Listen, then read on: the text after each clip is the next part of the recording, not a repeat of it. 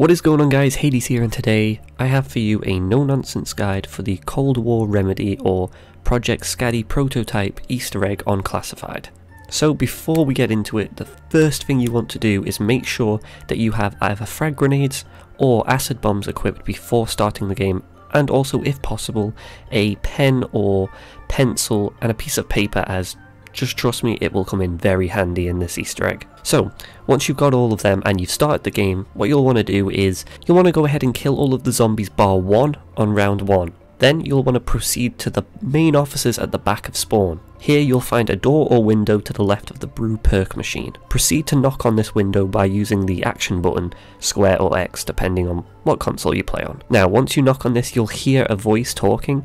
You'll want to proceed to knock on this window a few times until you actually hear Samantha scream at you. Once she's done screaming at you she will spawn in a crap ton of Nova Crawlers. Now you'll want to knife these Nova Crawlers to basically get as many points as you can. Now once you've done this you should have at least between 4,000 to 5,000 points depending on whether you got a double points or not. These points will basically help you to succeed in this easter egg on a much lower round than you normally would. Now, step 1. Make your way to the labs and turn on the power. I know. Pretty simple, right? Now you'll want to head up to the war room and across from the cola perk machine should be a cabinet with keys in it. You'll want to hold square or X to pick up the golden key. Now head back up to the main office. Look for the desk in the centre of the room with this lock on it.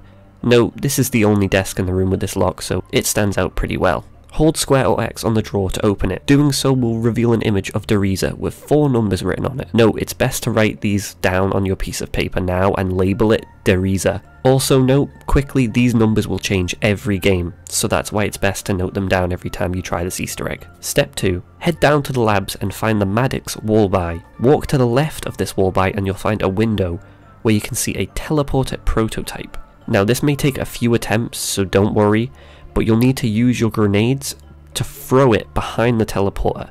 If done correctly, you'll hear this sound. Oh yeah, we were just there. Now, just to the right of this window, you will see a picture of Shang with four numbers written on it. Again, remember to note these numbers down and label the map name. Step 3. Head up to the war room and proceed to activate the DEFCON switches in this exact order. Switch 1. The switch to the right of the Spitfire wall buy on the upper level. Switch 2 the switch inside of the server room. Switch 3 is the second switch on the upper level, and the final switch is the last switch on the lower level.